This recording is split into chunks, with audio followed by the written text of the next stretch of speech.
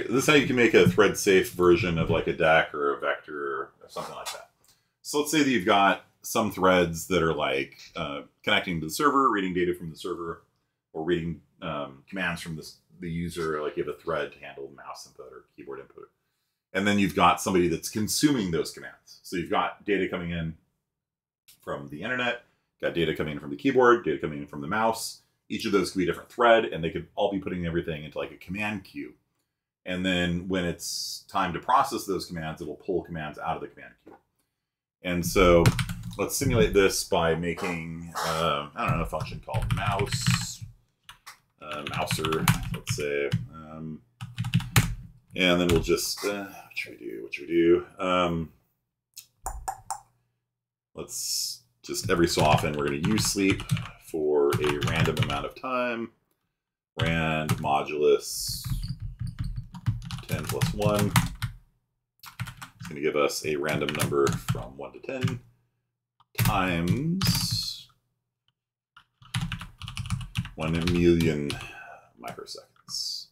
So what this is going to do, we could actually just use sleep, I guess. Sleep is in seconds, microsleep is in microseconds, but it's effectively the same thing. So implicit conversion changes signedness, fine, whatever, I don't care. Okay, uh, let's make this fine. Unsigned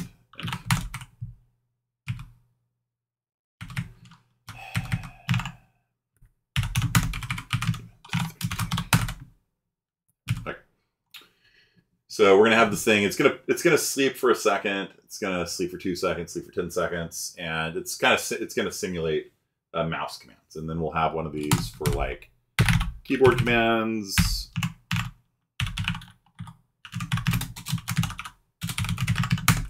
And then we'll have one for like um, uh, network network commands. And so each one of these guys, we're going to put these into like a while true loop or something like that. True.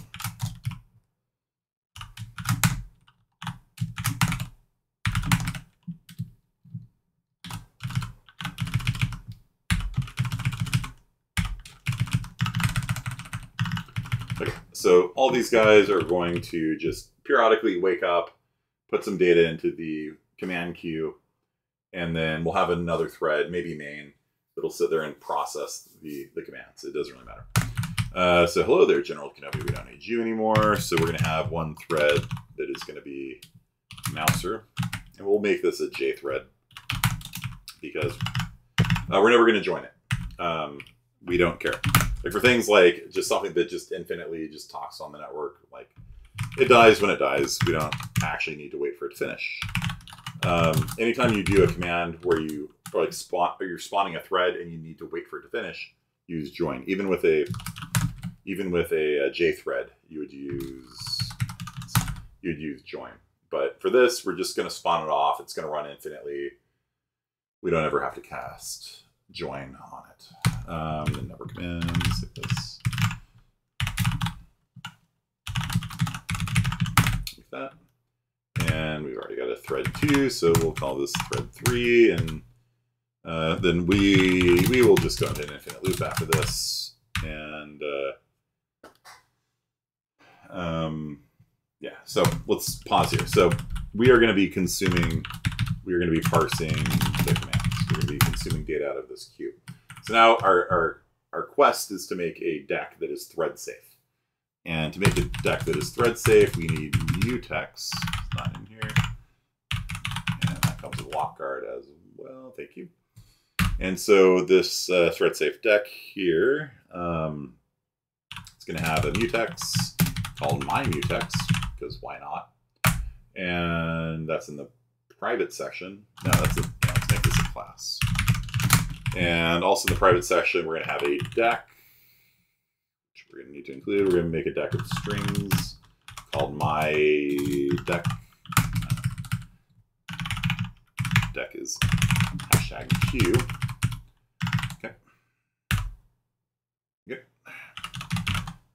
I always, I always love out speeding IntelliSense.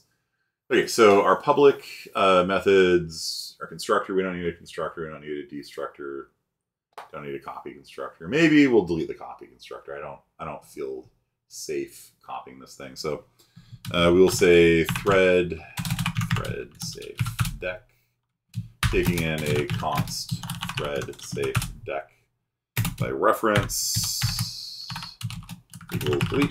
So we are going to have no copy constructor. So I don't think we should be able to copy these things. And, uh, and we just make a default default constructor that does nothing.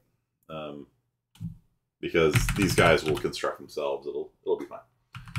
All right, so all we really want on this thing is a push function where we can push a command in, like go north, go south, that kind of stuff, and a pop function that will pull data out of the deck. And we want to do this in a thread-safe manner because we're going to have four different threads reading and writing to it at the same time.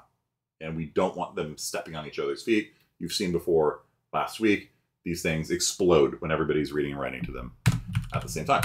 So we need simply a push function, that takes a string s, and we need a, a string pop that gets the first string out of the um, gets the first string out of the, the deck.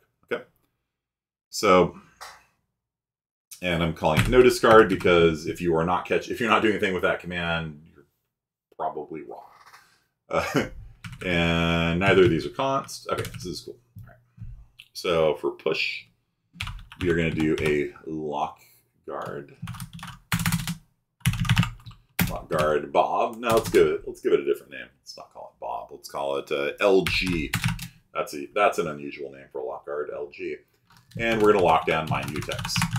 When LG gets constructed, it tries lock taking the lock on the mutex. If nobody else is there, it's fine. It moves on to the next line of code. If the mutex is currently locked, it waits. Okay, so if we have two threads that try to come in at the same time, they block. The second one blocks, the first one goes through. And this is true even if one person is pushing and one person is popping. This is the mistake I've seen a lot of people making. They have separate mutexes. That doesn't help. If you have one mutex for push and one mutex for pop, you got problems because one thread could then be in push, one thread could be in pop, and they can explode the uh, the deck together if you do if you just happen to trigger a reallocate or something like that. So you want one mutex for the entire deck. Anytime you're doing anything that's going to be manipulating the um, the deck, um, you want to use one shared mutex for it. Technically, you could read from it, like if you wanted a um, like a front function that just read from it. But uh, what if you're reading from it when somebody triggers a reallocation? I wouldn't risk it.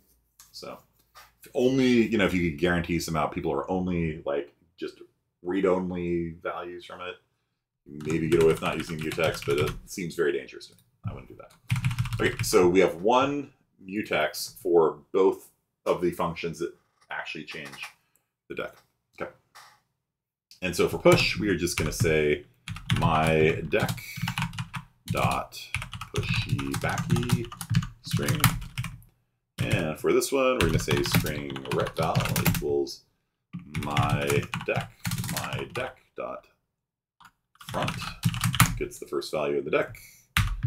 Uh, and then we will call my deck dot pop front. Okay. And then we have to return and we're done. That's the whole thing. That is that is a thread safe deck. Took eight minutes, probably half of which was explanations, and me typing out these made up thread things. Okay, so uh, that's it. That it's now thread safe. You can push to it, you pop to it. Only one person can be reading and writing to it at a time because they share the mutex between them.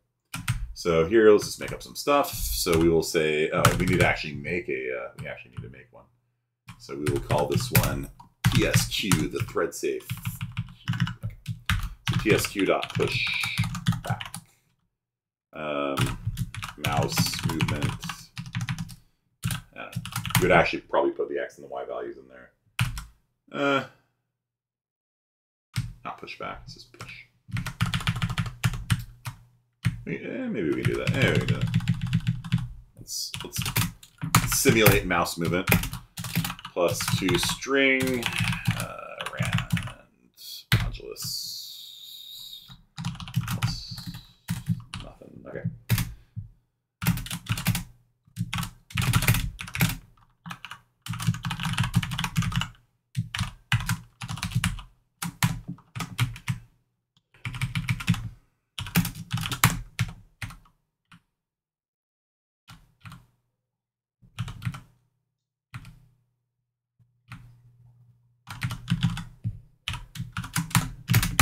Okay, so this is going to construct a string that will randomly generate, oh, the mouse is here now, the mouse is here now, the mouse is here now. And the mouse is going to move once every one to 10 seconds. Okay. And uh, so we're mocking a, a, mouse input. In reality, this would be getting read from Dear ImGui. Dear ImGui has a function that will tell you where the mouse is, but we're just pretending right now. And so this, this thing is just going to infinitely loop. And once every so often, it's going to say, oh, the mouse is here now. Oh, the mouse is here. And then for the keyboard command, we'll do, I don't know, uh,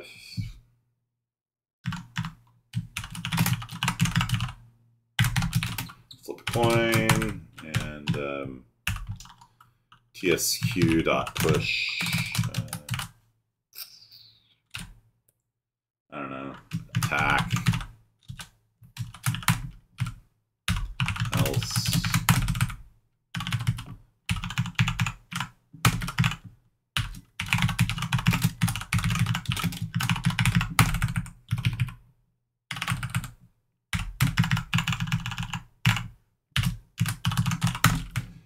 So the keyboard, every so often, they're going to hit the key to attack, so often hit the key to defend. You know, we could make more mock things, and then from the server, uh, we could be like, I don't know, like uh, tsq uh, push.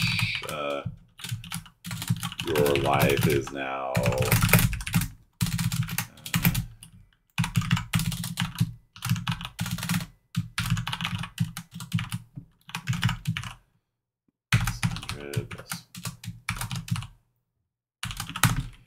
So the, the server will be sending updates on what your current life is and maybe, you know, what other people's lives are and things like that. We're just going to simulate um, it sending updates on what your health is currently. And all of these are going to go into the same shared queue, the thread safe shared queue. And then down here in main, main is actually, all these things are going to be reading from different sources, the keyboard, the mouse, the keyboard, uh, the keyboard, the mouse, the keyboard. Wow, we have two keyboards. Uh, it's like, it's like that one show where the two idiots are typing keyboard, mouse, and network. We could feasibly have other inputs as well. All three of those are going to be feeding into a input queue, and then we're going to pull all the information out of the input queue here. So uh, we need one more thing, which is size. And let's grab block at the same time. Uh, size. Do you not like size? Type sorry. Yes, that's correct size. Yes, very good, very good, very good. And we will return uh, my deck dot because we need to know when it's empty. okay, so while that, okay, so well, the while loop instead of the while loop. So while the thread safe queue has commands left in it, uh, we'll just pull them out. So string next command equals tsq dot pop and we'll just say executing command, uh, next command, no, next input for him, next command, thank you. And there we go. So this the, the main loop here is going to be pulling commands out of it. Uh, this this area down here is going to have a giant if statement. You know, like if the command is move the mouse, if the command is attack, you know, if, if the command is your health is now, then we'll be updating variables. We're just going to be just simulating that right now. Okay. So no, the OpenMP, we're not using that right now. And we run it. And uh, there we go. It's a long delay. right. So there we go. We got some commands coming in, right? So we got three at once there. And so the uh, the main loop is just sitting there constantly like, is there any thing to be done? Is there anything to be done? Is there anything to be done? And you can see here, uh, we've got commands coming from three sources, and we're reading from the shared queue in a thread safe fashion. Sometimes you'll get two things happening at once. It's fine. It's thread safe. And then when we quit, no segfault. Because we're using JThreads, right? Those are JThreads are great for things that just run forever and you never um, need to quit them.